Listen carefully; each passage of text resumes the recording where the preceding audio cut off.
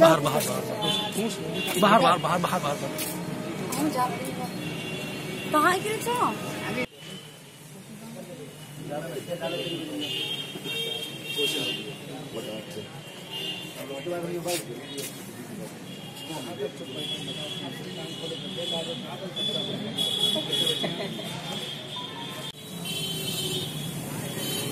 हैं गया बताओ तो यार हैं?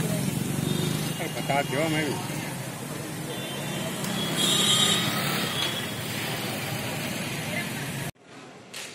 एसपी सिटी साहब थाना सदर बाज़ार क्षेत्र में छेड़छाड़ का मामला सामने आया नाबालिग के साथ क्या है पूरा मामला क्या कार्रवाई की जा रही है?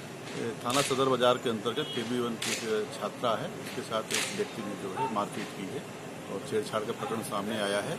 इस संबंध में थाना सदर बाज़ार में अभियोग पंजीकृत करा करके विधिक कार्रवाई की जा रही है।